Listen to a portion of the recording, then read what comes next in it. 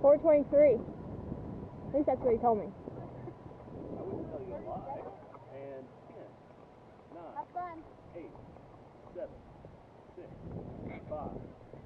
starting off well. Three, two, one, and go.